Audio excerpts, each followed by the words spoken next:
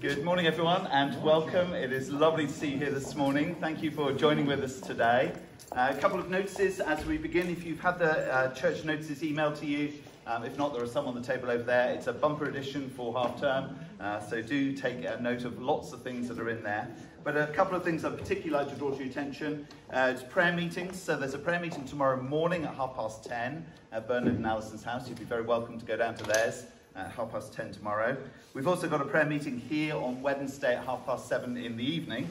First one's half past 10 in the morning, I guess, isn't it? Yes, it's half past 10 in the morning. Uh, half past 7 in the evening here on Wednesday night. We've also got our church meeting on Saturday 28th here in this place at half past 9. And Miles is going to come and say a little bit about that. Thank you.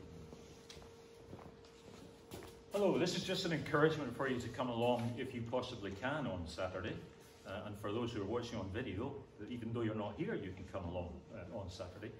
Um, a, little birdie's told me that I've probably daunt, made people really daunted by looking at Miles's sort of um, uh, day job type structure, analytical structure of the questions and everything. Don't be daunted just because I think that way. We're going to be doing something on Saturday morning that allows people who think in different ways, communicate in different ways, those who like to talk when there's a big crowd, those who like to talk or think individually, we'll be looking to do as much as we can to bring everybody in because the main idea is just to listen to each other. But if we don't have a structure, then there's a real risk that we'll go round and round in circles forever and get nowhere. So that's the reason for the of structure. Thank you for those who have contributed ahead of time. Some people have just dotted, jotted down a few words under some of the headings. Others have gone into great detail, which is great. Um, so feel free to contribute ahead of time. It'll help us, uh, Brian, myself, maybe some others to help structure Saturday. Don't be daunted.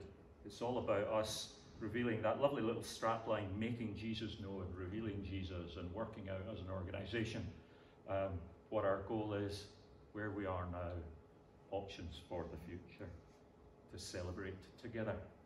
Um, now, it's only the first bite. We're talking about on a Wednesday in November, a Wednesday evening in November, and a Saturday morning in December into your diaries within the next week so that we know that we've got a few bites to get there and to get to a, as common an understanding as possible. Okay? Talk to me afterwards um, and see if uh, I can encourage you to come along. Fabulous. Thank you very much, Miles. And one further notice is that you'll see it's uh, we're launching our shoebox appeal this Sunday, Operation Christmas Child. We'll hear more about that later on in our service, but do take note there's lots of shoeboxes over there at the side of the room. Well, it is good to be here together this morning, and we're going to begin by listening to God's word before we sing together. Uh, Lamentations, uh, chapter 3, verse 22. Because of the Lord's great love, we are not consumed, for his compassions never fail. They are new every morning. Great is your faithfulness. I say to myself, The Lord is my portion, therefore I will wait for him. The Lord is good to those whose hope is in him, to the one who seeks him. It is good to wait quietly for the salvation of the Lord. Well, we come together this morning to give praise and honour and glory to God. We're going to do that as we uh, pray, as we read God's word, as we sing together. And we're going to begin this morning by singing that great hymn, Immortal, Invisible, God Only Wise, that reminds us of the greatness and the glory and the majesty of our God, into whose presence we come this morning. So let's stand and sing together, the music be on the screen, as we give glory to God, immortal, invisible, God Only Wise.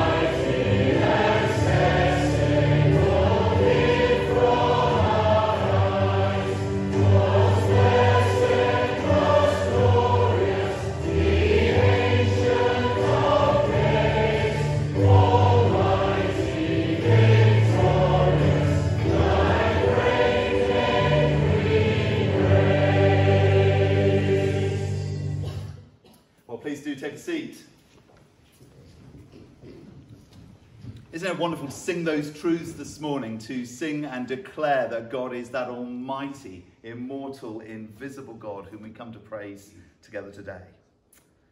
Well, boys and girls, um, I've got a little, uh, you need to help me this morning. I know it's half term, but you're still going to need to keep your brains in gear. So I've got some maths questions for you this morning to help your brains in gear. Uh, so here's my first maths question for you this morning. I wonder if you can help me. What is 62 plus 2? Yes, John. It's 64. Let's have a look. Yes, it is 64. Well done. Okay. Let's get a bit trickier with the maths questions. What is 17 minus 6? Go on, you can have another go. Do you know? Someone's going to have to. Yes. 64. Let's have a look. It's 64 as well. Okay. Let's have a look at the next screen. Simon Cowell. How old do you think Simon Cowell is? I mean, he's had a lot of work done to his face, so, you know, it's hard to tell, isn't it? But, you know, how old do we think Simon Cowell is? 80. 80. Someone needs to follow along with what's happening. What do we think? Well, someone said 64. How old is he? He's 64. Hold on a moment. Yeah, how did that happen? Mm. Uh, next question. It's 64 sleeps until what? if, if, you're not counting down, let's have a look at the next slide. It's 64 days until Christmas. Of course it is. 64 days until Christmas. And so today, we're launching our Operation Christmas Child Shoebox Appeal where we get some shoeboxes and we pack them for boys and girls of all sorts of ages, uh, the specific ages are there, and we fill them with some lovely things to send off to them to get in time for Christmas so that hopefully before 64 days' time they'll have a lovely box of shoeboxes to unpack and, and maybe it'll be the only things they get for Christmas this year. Well, we're going to watch a DVD uh, by um, Samaritan's Purse that tell us a bit more about it before we think about these shoeboxes. Please, thank you. Three, two, when that shoebox is opened, they are overjoyed. You can see them shouting, jumping.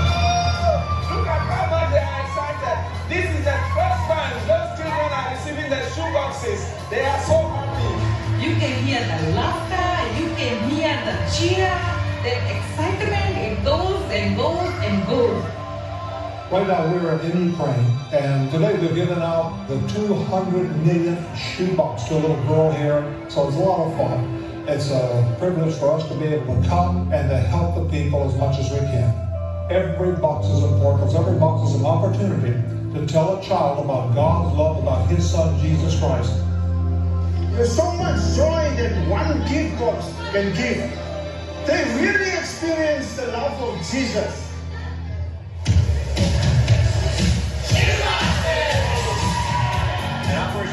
we celebrate something as simple as the shoebox because God uses it to share the gospel of Jesus Christ. We all are here for the same reason, because we love God and because we want the children from far and wide to also find Jesus and love Jesus like we do. We never dreamed we'd have an army of men and women who would come to make this program happen. This is what it's all about, telling others about Jesus. These shoeboxes go to 120 different countries where pastors and missionaries are going to use them to bring the gospel to kids. So you may think it's just a simple gift at Christmas, but it's the gift of the gospel, the story of Jesus Christ. When that shoebox leaves that distribution centre and it goes around the world, that's not just one person. That's the body of Christ joined together, delivering the good news of the gospel. They go by plane, they go by ship, they go by riverboat, they go by camels, they go by motorbikes, and these boxes go to some of the most remote areas of the world, and every box counts. After receiving shoeboxes, children are invited to participate in the Greatest Journey Discipleship Program. These children have just completed 12 lessons in the Greatest Journey. I believe that discipleship is the key and they are now followers of Christ. They will tell their friends about Jesus. Name is Gladys and I'm nine years old.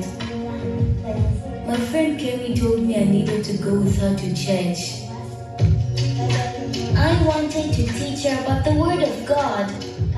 And when she came to my church, she received a gift box. For a long time, I asked my mom for a blanket. When I opened my shoebox, I found a blanket in it. When I came home, I showed it to my mom, and she said it was great. I told her about Jesus. Now me, my mom, my grandma, and Kenny go to church together. I am certain of one thing. God is my savior. Every box counts. Every box touches a child. It's like a snowflake. There's not one shoebox that's the same. And we're reaching millions of children with the gospel of Jesus Christ. If you take the heart of the child, you will reach the heart of the parents, you will reach the heart of the family, and then you will touch the community. We are seeing churches being planted, and more and more churches are being built. We will do whatever it takes to reach the ends of the earth with the gospel. That gift box is the beginning into their hearts. It incredible how these gifts touch the lives of these children? The joy, the smiles, it changes lives. Every year we see tens of thousands of children discipled. And we couldn't do this without you, so thank you for packing the boxes. Thank you for praying for these children around the world. God bless you, and keep packing those boxes.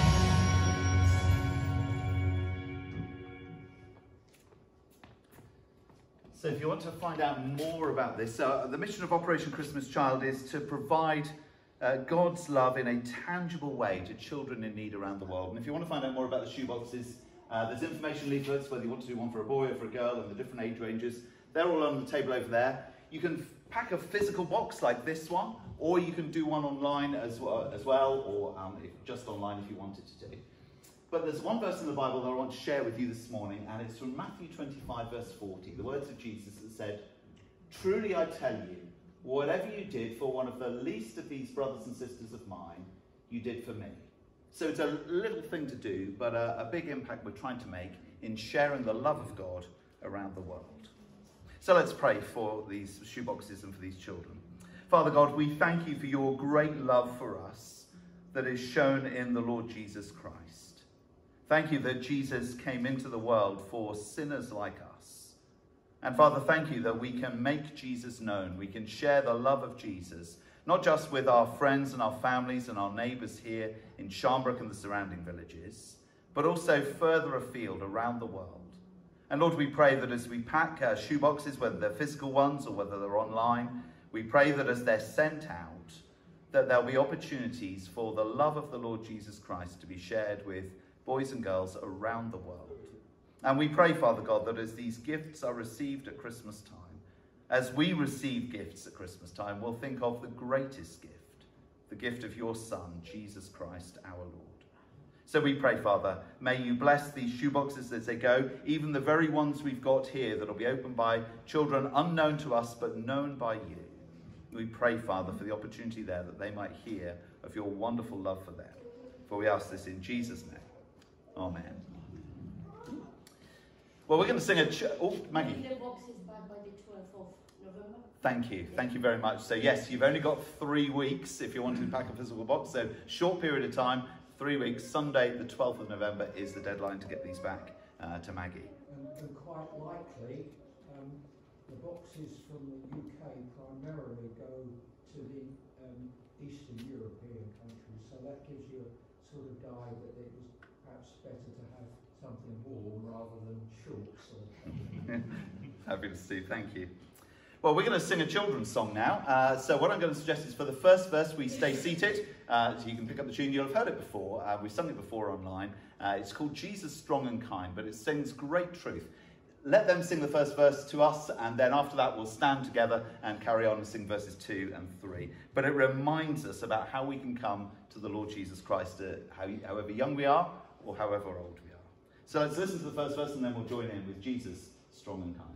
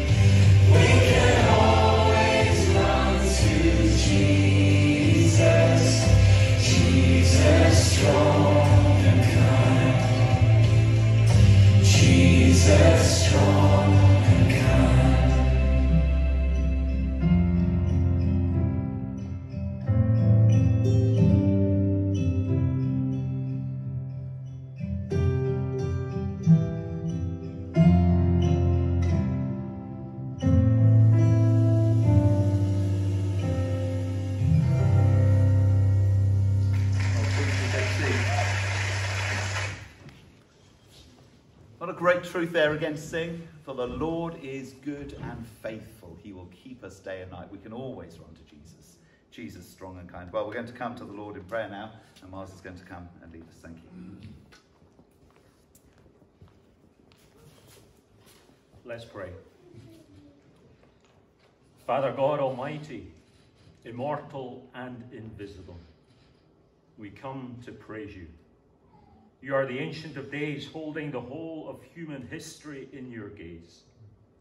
You and you alone are truly wise, incomprehensible, except in your mercy, wisdom, and grace, you called on your eternal Son to be contracted to a span, incomprehensibly made man, humbled even to death on a cross, that we might know Jesus as Lord, as Saviour, as brother, as friend. We thank you that surrounded by this failed world of sin that knows you not, we can still see glimpses of your eternal perfect garden that you created long ago. You set eternity in the human heart. You set eternity in our heart. And so our hearts yearn for that promised day when we will finally be home. For now, Lord God, have your Holy Spirit work in our hearts to mold, to shape, to equip, and to encourage us to live out in word and deed on our front lines, wherever we are, a life changed by you. And pour out your Holy Spirit in our communities, in Sharnbrook and the surrounding villages, wherever we live and witness, that lives might be turned to you and that your kingdom might come here on earth as it is today in heaven. In the name of the Lord Jesus, therefore, we can come in confidence to you, Lord God, this morning with our prayers of supplication for those in our fellowship, our community, our nation, and your word, world. We entrust to your care those who are ill or in pain, that they may know the truth of your everlasting arms holding them safe. We pray for all the recently bereaved, that they may know your peace. We pray for those who can't be with us this morning for whatever reason. Pray for folk like Ruth Register, no doubt worshipping with us at this time. We pray for our young folk at home and at college. We thank you in our absence for all the work that Sam does with us and for us and through us. We pray that she will have a time of rest and recuperation, quiet family time, that she might become come back refreshed to continue. We pray for JCs at the primary school, for the believers who attend as teachers or students here in the academy. We pray especially here that you might raise up a Christian union that witnesses to your word in this place of education. And especially for this initiative that we're praying into and giving for this, or this uh, band called LZ7 to come and to spread your gospel through word and modern music. We thank you for Uncovered that brings some of our young folk together.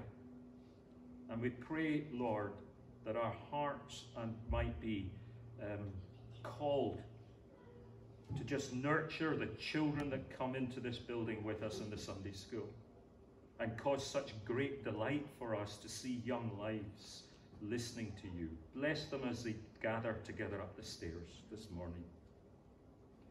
And we thank you, Lord, for our new friends from Colombia that bring a taste of your global family into this little corner of Bedfordshire. A taste of the family that will gather together in eternity around your throne, when every tongue and nation worships you for eternity. We pray for those who are, are away on mission and to witness for you this morning. We thank you for Helen, who's serving with Restoration Revival Fellowship today. We thank you for Ruth McBain in Malawi, and we pray that you will help her as she prepares to travel home tomorrow. We raise up John and Philly to you this morning. We give you thanks that you were there for John's mum as she received such quick care. And we ask your blessing on John and Philly as they look to a new season in Reading. We give, we give real thanks for the commitment of John to your word. Move him through your spirit this morning that we might hear your voice. God of light and salvation, our refuge and our strength, we pray for the people of Israel and Palestine amid the escalating violence there. We pray for those injured by the rocket from Gaza, the rockets from Gaza into southern Israel, and for the families of those killed. May your rod and staff comfort them.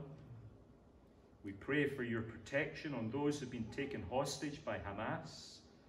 As they walk through this dark valley, may they fear no evil. We pray for the civilians of Gaza. May they know that their help comes from the maker of heaven and earth. Allow our brothers and sisters in all these lands where your Son walked, allow them to witness to the light that is you. Amen. Amen.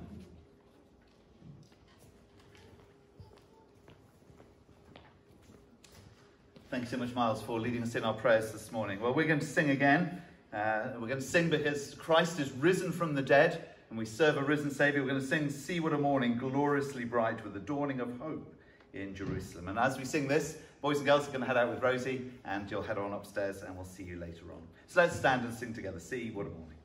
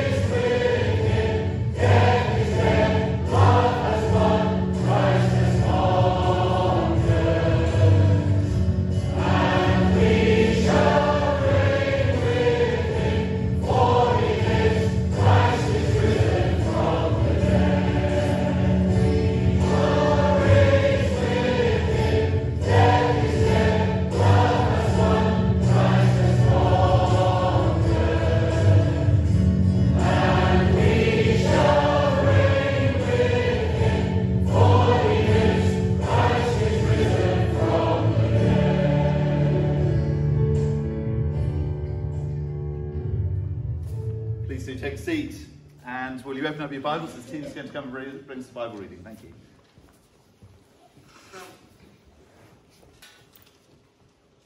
So the reading is from Philippians. It's on page 1180 in the church Bibles.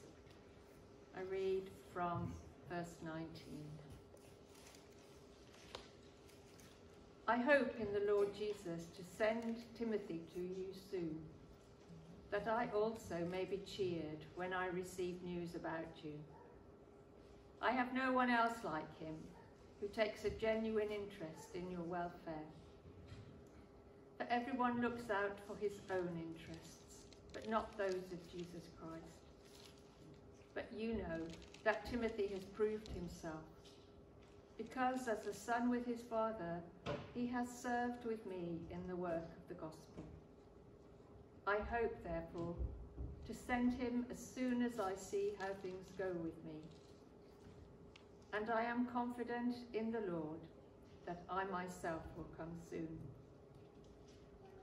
But I think it is necessary to send back to you Epaphroditus, my brother, fellow worker and fellow soldier, who is also your messenger, whom you sent to take care of my needs. For he longs for all of you, and is distressed because you heard he was ill.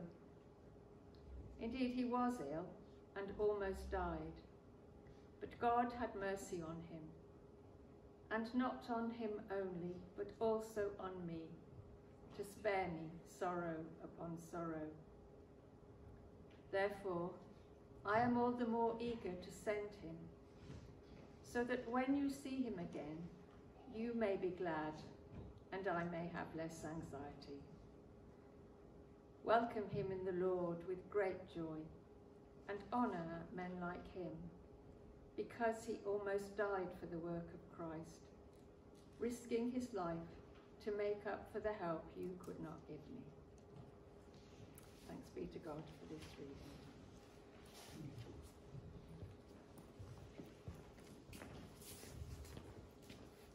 Well, thank you so much, Tina. Please do keep your Bibles open there at Philippians chapter 2 as we come to God's Word together. And as we do so, let us pray together. Father, we thank you for your word. We thank you that it is a, a, light unto our feet and a lamp for our path. And we pray this morning that you would, by the power of your Spirit, that you would illuminate your truth into our lives. Warm our hearts. Help us to see the glory of the risen Lord Jesus, we pray. For we ask this in his name. Amen. Amen.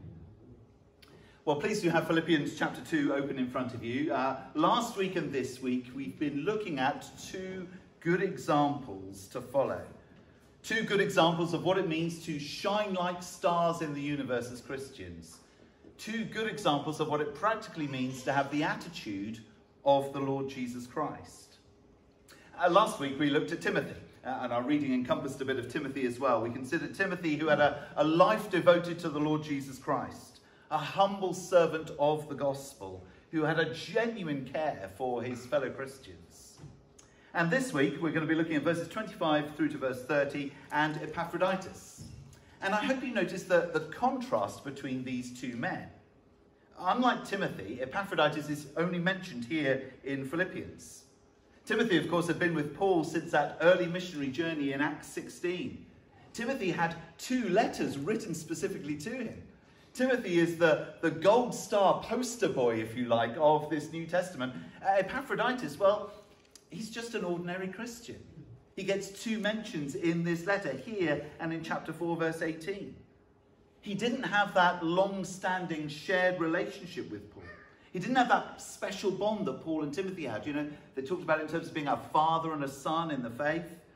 No, this is a new friendship, but a new friendship that very quickly became a close one. Epaphroditus was a, an ordinary Christian, probably with an ordinary job, and in fact, we know very little about him. We're not told that he preached or had great gifts, or we're told that he was sent as a messenger with a gift to go and see Paul. And as he does that, we see that he shines brightly like a star in the universe.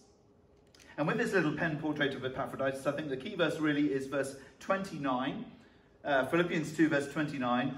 Welcome him in the Lord with great joy and honour men like him. Welcome him in the Lord with great joy and honour men like him. Now we honour, don't we, our heroes of the faith. Perhaps you've got a favourite preacher that you listen to online and you go, yes, I, I honour this person because they, they speak so well. Or maybe you've got a favourite author, uh, dead or alive, from the past or from current day, and you go, ah, oh, yes, I, and I honour this person because they're a, a great hero of the faith. Maybe you've got a spiritual father or mother still living, and, and there's a, someone who, who you look up to and honour in that way.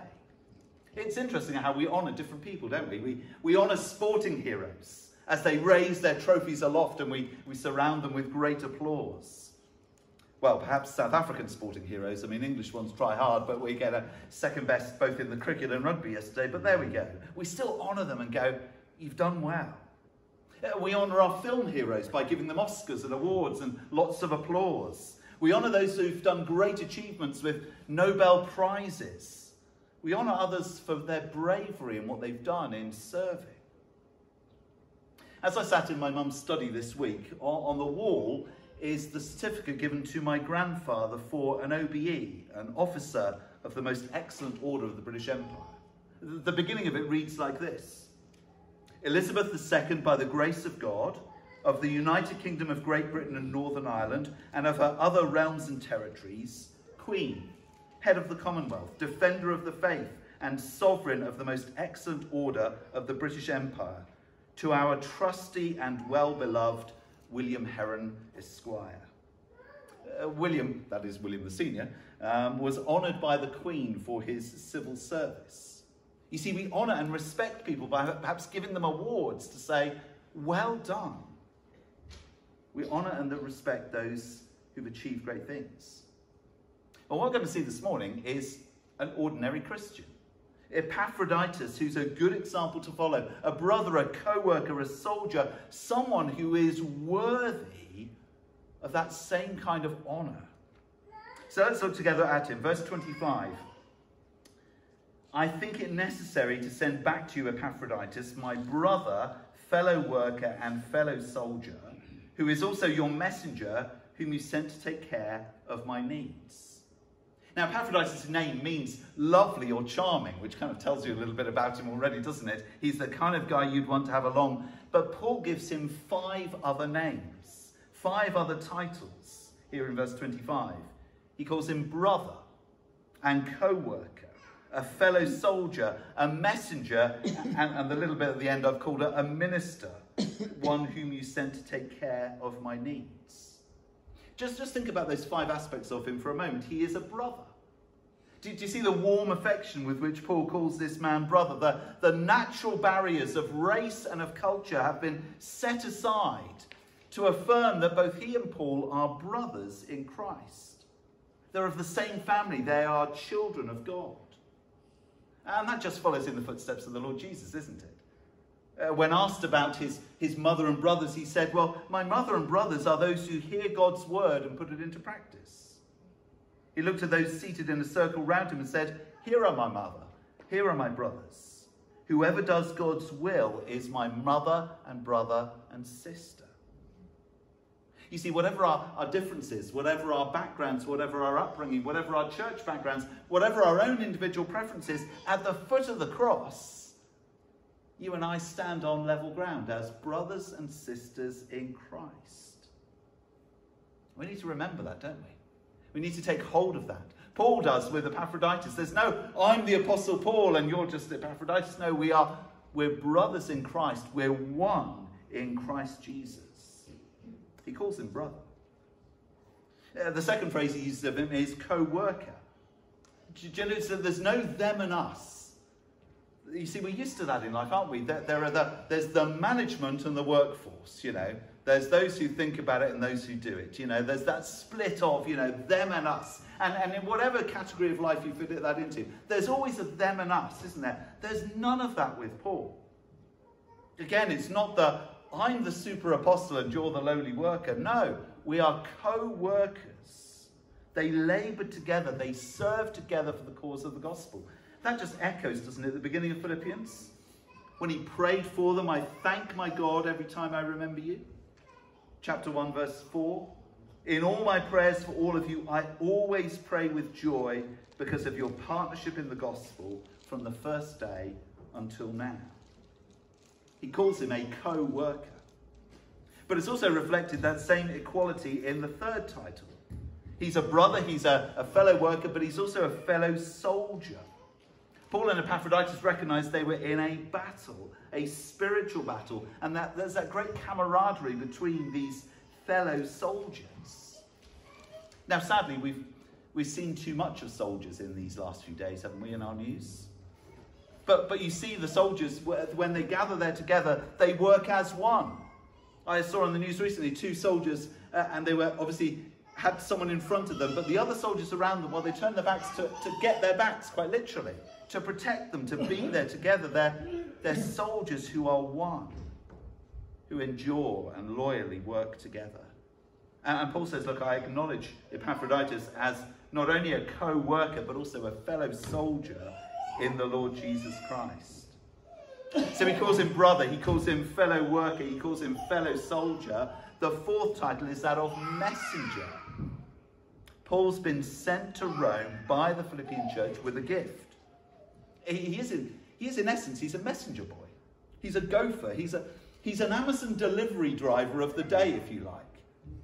You know, and, and do, you, do you know the name of the Amazon delivery driver who comes and goes? No, because you're, you're interested in the, the parcel that they're delivering or what they've dropped off at the door. Listen to what one commentator uh, wrote about Epaphroditus. He, he wrote of him this Epaphroditus was doing a relatively mundane looking job for the sake of the gospel. But what he did was vital for the advance of the gospel. Paul needed money, and Epaphroditus volunteered to be the dispatch rider. This is the equivalent of putting out the chairs at a meeting, offering hospitality to a visiting speaker, running the church accounts, making the coffee, or doing the publicity. He's the, he's the dispatch rider. And you see, of course, they wanted to give Paul some money. There wasn't a bank transfer. There wasn't an easy way of doing it. Someone's literally got to go with the money to go see him. Paul's in prison. He's only going to be supported by what friends and family bring him. So it's essential that Epaphroditus goes. But he's just a courier. He's just a messenger boy. But his mundane job is vital. Because without it, Paul couldn't continue to proclaim the gospel. Paul couldn't continue to do the work that he's been called to do. I think that aspect's really pertinent for us, isn't it? There's jobs that need to be done. Some of them are mundane. And Epaphroditus was willing to do the messenger boy job. So he's a brother, he's a co worker, he's a fellow soldier, he's a messenger, but he's also a minister because we're told that they sent him to take care of Paul's needs. Here's someone who's a warm hearted servant, faithfully taking care of the needs of Paul. He's willing to go. He's willing to go on behalf of the church and say, I will do this job. He served the church, he risked his life. He placed his gifts at the disposal of the church and said, I'll go. It's a difficult job, but I'm willing to do it. And of course, the church trusted him to go and do that work. I, think it's quite a challenge, isn't it? Just so you look at that little pen portrait of him brother, co worker, fellow soldier, messenger, minister. Are we willing to be servant, servant hearted, like Epaphroditus in serving the Lord?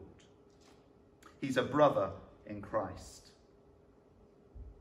The next thing we see of him that he's he's a recipient of God's mercy as he does this work.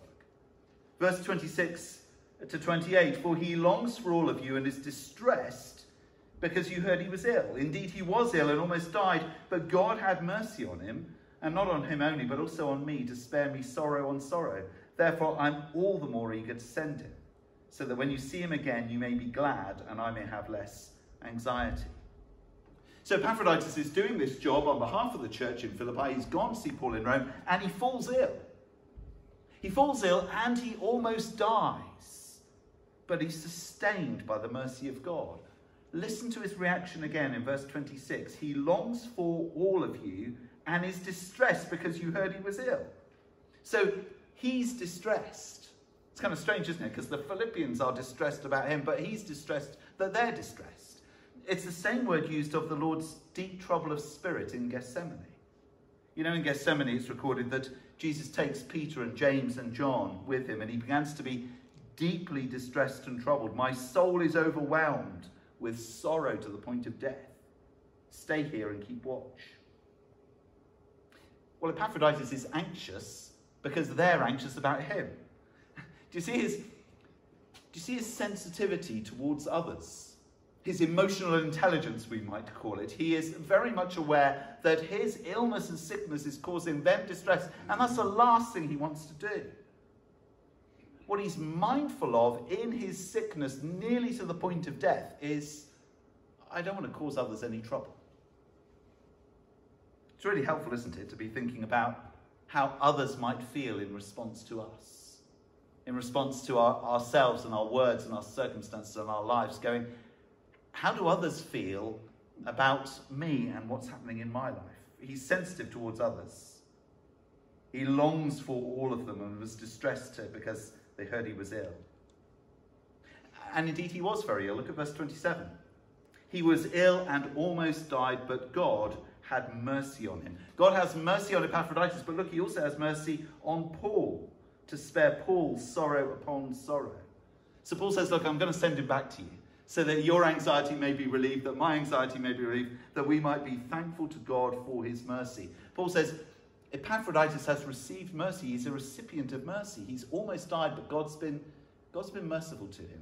And it's been merciful to me because that's spared me that sorrow upon sorrow. I, I think in this he's teaching us, isn't he, to, to be thankful for God's mercy when, when you see the mercy of God, you can say, Thank you, God. You are a merciful and good God because I see it really clearly. I, I know that you're always like that, but now I particularly see this in this circumstance. I'm thankful this week for the mercy of God in sparing my mum's life. If her friends hadn't been there, if the ambulance hadn't come quickly, if she hadn't gone straight into the critical care unit and been treated within the hour, she might not be here. Now, like us, like all of us, her days are numbered. She won't be called home a day too early or a day too late. But for today, I'm thankful for the mercy of God. But you know what? There, there will be a day when sorrow comes. There, there will be a day. And on that day, God has not abandoned his faithfulness. He's not abandoned his good promises. He's still faithful, but I'll be all the more thankful for the days of his mercy. I was reading the hymn, I will sing the wondrous story that says, Days of darkness still may meet me, sorrow's path I oft may tread, but his presence still is with me, by his guiding hand I'm led. I will sing the wondrous story of the Christ who died for me, how he left the realms of glory for the cross of Calvary. Yes, I'll sing the wondrous story of the Christ who died for me. Sing it with the saints in glory gathered by the crystal sea. You see, Epaphroditus almost died, but it was a cause for God to show mercy and for Paul and Epaphroditus to say, Thank you, God, for your mercy. I see it so clearly today in his life. You and I need to be people who not only receive the mercy of God, but say, Thank you, God. Your mercies are new every morning. Great is your faithfulness. So Epaphroditus, he's a brother in Christ. He is a, a recipient of God's mercy, and so he's to be honoured in the Lord. That's the last two verses, and I think the, the main part of this passage. Welcome him in the Lord with great joy, and honour men like him, because he almost died for the work of Christ, risking his life to make up for the help you could not give me. Paul wants these Philippian Christians to receive Epaphroditus with joy with joy and appreciation not only for who he is, but also for what he's done, for his faithful ministry with gratitude to God. They're to esteem him because of his spirit of, of laying aside his own comforts for the cause of Christ. You do have to ask, though, why is he telling them to do this?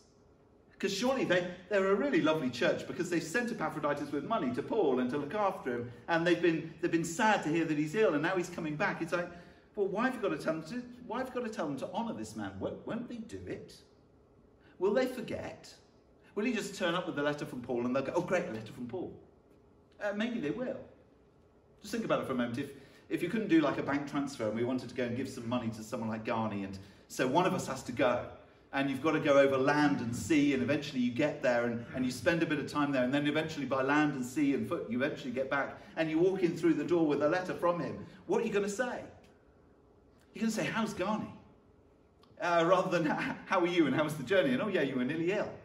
You know, we can very over, quickly overlook the messenger, the, the Amazon delivery driver who turns up. It's like, Thank you very much. Not that they want to have a long conversation about how their day is because the engine's still running and they've got to go to the next person, but the, the messenger gets overlooked potentially. Paul's saying to them, look, don't take faithful servants of God for granted.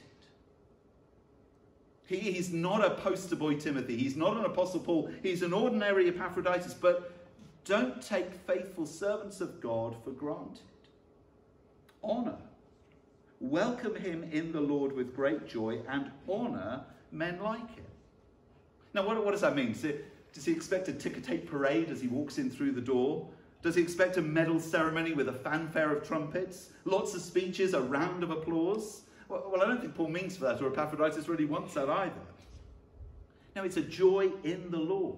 Welcome him in the Lord with great joy. In other words, give honor and thanks to God. Thank you, God, for the gifts you've given this man. Thank you for his faithful, willing service. But more than that, Lord, may I learn from this man? May I learn to be more like the Lord Jesus because he's got the attitude of Jesus and he's faithfully living it out might I stick closely with him and learn from him and become more like him as I see what it's like to have the attitude of Jesus in my daily life? So honor such people, respect the Epaphroditus of this world because, verse 29 and verse 30, he almost died for the work of Christ. Uh, that's the expression there in verse 30. He almost died for the work of Christ, risking his life to make up for the help you could not give me. So, in other words, he took a calculated risk. He nearly died because they wanted to help Paul, and he's literally said, I'm willing to lay down my life. You see, we can't quite get that, can we? Because we think of it's just going to be an easy journey. No, he's willing to literally say, I will lay down my life for this cause. And it's not the most glamorous of things because I'm just the delivery boy, but I'm willing to do it because I'm willing to proclaim the Lord Jesus Christ and help Paul to continue to do that. You see, people have risked their lives so that we can make Jesus known, so that we can meet freely this morning. People have laid down their lives for that in this place. So, so years ago, I used to serve in, in Beccles Baptist Church. And it's a great big building. And at the front, there's a stone tablet. And it records the, the martyrs who were, were killed for their faith in Jesus right there on that spot in Beccles where the church building is. Three men, Thomas Spicer, John Denny, and Edmund Poole, they were burned for their faith in Jesus on the 21st of May, 1556. Thing is, that seems so long ago, and it's in Suffolk, so it feels miles away. But it's three men who laid down their lives for the faith that you and I hold to. Uh, they were, so Tom and John and Edmund, they were arrested for refusing to conform to the re-established Catholic Church and after a trial for heresy, they were burned at the stake. And on the placard on the church building reads these words. It's from Foxe's Book of Martyrs. Uh, when they rose from prayer, they all went joyfully to the stake. And being bound thereto, and the fire burning about them, they praised God in such an audible voice that it was wonderful to all those which stood by and heard them. And then the plaque quotes Revelation 6, verse 11. Then each of them was given a white robe, and they were told to wait a little longer until the full number of their fellow servants, their brothers and sisters, were killed just as they had been. Paul writes of Epaphroditus, uh, honour him in the Lord, because he risked his life for the help that you could not give me. Respect him, honour him, value him. Copy him, spend time with him, pray with him, ask him to teach you how to be more and more like Jesus. Here's Epaphroditus, a brother in Christ, a recipient of God's mercy, who's to be honoured in the Lord. We're to respect the faithful, ordinary servants, to think highly of them because they point us to the attitude of the Lord Jesus Christ, to, to the one that we want to be more like day by day. They show us the practical reality of what it means to shine like a star in the universe. They show us what it is to have the attitude of the Lord Jesus. They model for us Jesus. And you and I want to be more and more like Jesus day by day, don't we? So that when we see him face to face, it won't be unrecognizable, but we'll be made more and more like him by the power of the Spirit in us. Let us honor in the Lord the Epaphroditus of this world. Let's pray together. Father, thank you for those who so faithfully serve. Thank you for those who do ordinary, mundane jobs. Thank you for those who do things uh, in an unrecognized way. Lord, it's an honor to serve alongside brothers and sisters in Christ for the cause of the gospel. It's an honor to make Jesus known together as a church.